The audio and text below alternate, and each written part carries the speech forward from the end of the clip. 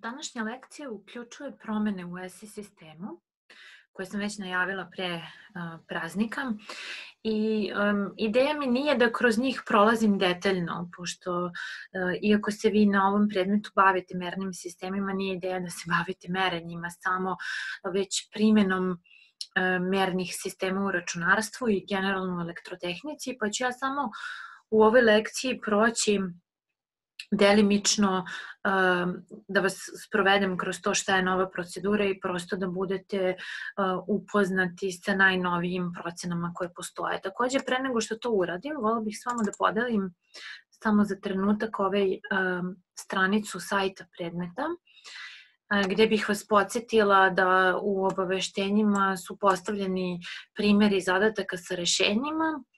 Um, u februarskom i da kažemo januarskom ispitnom roku i ovo je ponovljeno jedno staro obaveštenje gde možete da provežbate ako neko bude spremao ispit sad tokom praznika ili kasnije da provežbate potencijalne zadatke i primere zadataka. Takođe, ono što bih vas podsjetila, ova da kažem, ovaj semestar uh, ima jednu nedelju manje, tako da sam morala na neki način da sažmem neka predavanja i jedno od njih da izbacim.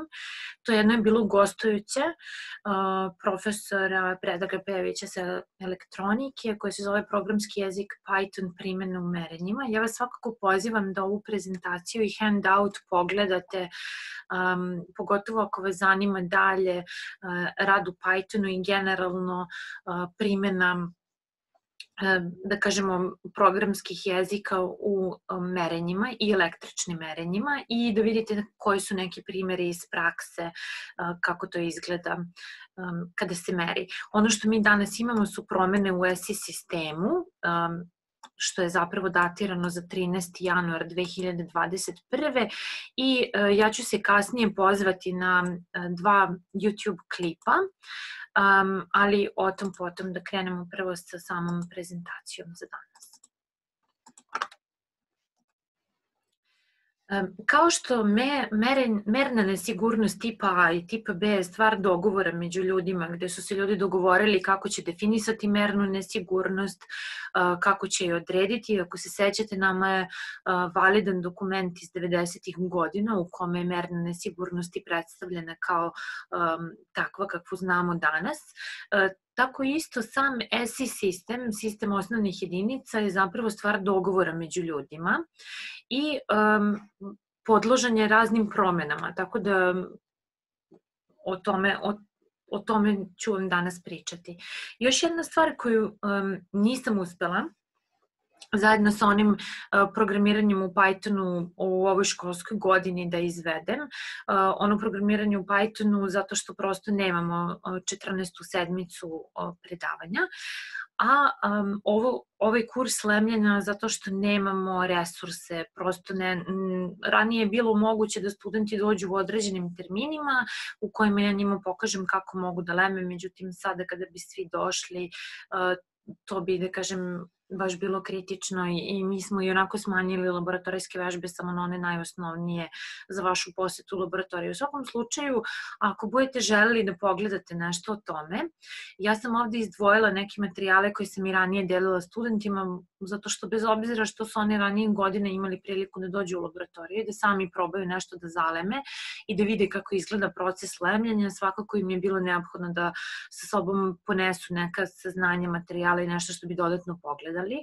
tako da vam ja toplo preporučujem nešto što je takođe Ada Fruit preporučila, to je ovaj Collins, uh, Collins Lab, uh, lemljenje se kaže soldering, uh, tako da imate prvo ovaj jedan klip koji se odnosi na lemljenje iz 2019. godine, međutim ima i drugi klip iz 2015. Um, pardon, ovo iz 2014. i drugi klip iz 2015. godine uh, koji se odnosi na odlemljivanje. Odlemljivanje je znatno kompleksniji, komplikovaniji zadatak i mi koristimo određene metode, tehnike u uslovima u radionici ili laboratoriji da bismo, da kažem, razlemili um, neke, neke elemente. Takođe, uputstvo po kome sam se ja ranije vodila i savete koje sam davala studentima koji bi došli u laboratoriju da nauče i prođu ovaj kratak kurs o opremi, alatima koji se zapravo zvao i kurs lemljenja, jeste vezan za um, instructional, inst, instrukcije za uh, laboratoriju fizike sa Harvard univerziteta, tako da možete da joj pristupite u ovom PDF-u da pogledate kako oni to uh, svojim studentima daju savete kako da leme. Takođe, ako vidite ovaj naslov s početka kurs lemljenja i ovaj naslov se ne uklapaju baš u potpunosti, ovde se kaže da je to o opremi i alatima. Da, tako je, zato što smo uvek tu posetu studenta laboratorije gde bi oni naučili da kako se lemi videli to, onda sami probali ako žele. E, takođe je bio jedan kratak deo koji se odnosio na to da oni sami a, pogledaju kakva oprema postoji, kakvi alati postoje i da, i da prosto naučite neke standardne nazive opreme uh, za opremu i alate. Ja se nadam da će biti neke prilike um, možda u sledećoj školskoj godini kada neka nova generacija bude slušala ovaj predmet, da se vi kao već master studenti priključite njima i da prosto ne ostanete, da kažem, kratki za za ovo praktično um, znanje o tome kako da se snalazite u radionicama sa alatima i kako da lemite.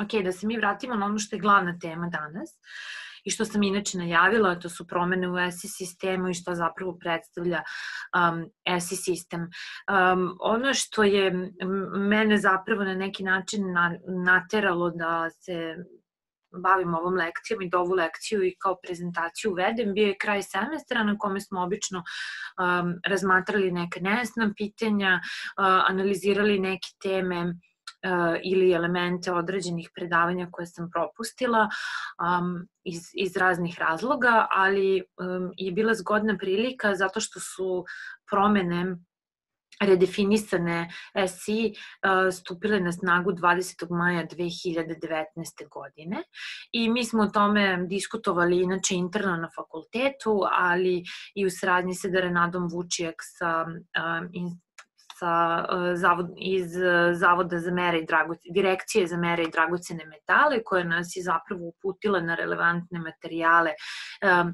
vezane za ove promene. Um, ako budete hteli da se informišete o samom ESI sistemu i ovim promenama koje su stupile na snagu 2019. godine, o koje moram da priznam su dugo unazad, najavljivane. Ja mislim da čak su neke najave krenule um, možda čak i 10 god, 10 godina unazad.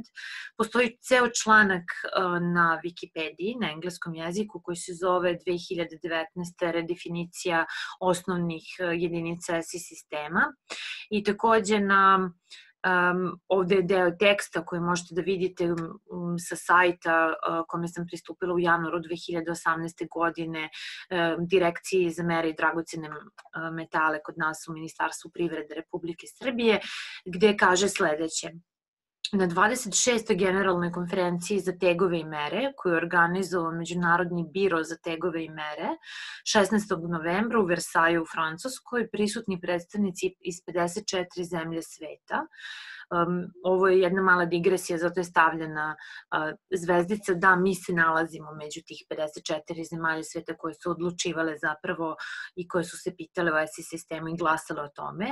Jednog uh, zemlje sveta jednoglasno su izglasali reviziju međunarodnog sistema jedinica čije se priči čija će primjena početi 20. maja 2019. godine i pošto je ovo sad 2021. godina, znači ta um, ta promena je već na snazi oko, da kažemo, godinu i po dana, kojom su usvojene nove definicije za kilogram, amper, kelvin i mol. Redefinisani SI od sada se zasniva na osnovnim prirodnim konstantama, kao na primjer kilogram je određen pomoću Planckove konstante, amper na osnovu elementarnog neelektrisanja, Kelvin na osnovu Boltzmannove konstante i mol na osnovu Avogadrove konstante. I sad, Um, da biste razumeli kakve su ovo promene koje su nastale u samom sistemu, treba da znate da je ovaj sistem, međunarodni uh, sistem jedinica, metrički sistem koji je nastao u 18. veku I um, ono što je takođe zanimljivo, jedna od najstarijih jedinica koja se koristila dok, dok nije stupila ova promena na snagu do 2019. godine i koja se nije menjala još od 19. veka um, je kilogram. Um, I naravno, ako budete gledali grev je stari naziv um, za kilogram. I ovde možete da vidite uh, isečak iz, iz ove tabele um, gde kaže 1793. godine grev je bio definisan um, na određen način, onda trenutna jedinica iz 1000, trenutna um, definicija u vreme kada sam ovu prezentaciju prvi put uh, pisala, odnosno tekuća do 2019. definicija je iz 1889. godine. Um, gde, gde se zapravo koristio uh, određen etalon um, koji se um, imao svoje mesto gde se čuvao u Francuskoj i e, gde su se koristile zvanične replike ovog etalona i te replike što se tiče Republike Srbije su se nalazile u, ovom, um, dire, u ovoj direkciji za mere i dragocene metale i u budućnosti, kaže, kilogram je definisan pomoću Plankove konstante um, s obzirom na definiciju metra i sekunde. I ovo su samo tri izmene za kilogram, tako reći, grev, o, ove stare stariji naziv e, kilograma. Kada pričamo o etalonima, sa njima je zapravo bio problem i ono što je najveća izmena koja je stupila na snagu 2019. godine, ona se tiče toga da se više ne koriste etaloni u praksi. Ovde imate fotografiju jednog um, etalona koji postoji. E sad ja bih vama poručila i što stoji, sad ćemo zajedno da pogledamo, i stoji na sajtu predmeta. Jedno je Why the Metric System Matters, Znači, ovo je video, jedan TED Talk koji se odnosi na to kako je nastao metrički sistem, ja ga neću ovde puštati, da, da ovaj video pogledate sami i da um, i da u njemu otkrijete uh, kako je nastao sistem jedinica i šta je takođe interesantno uh, vezano za njega, kako su ga ljudi definisali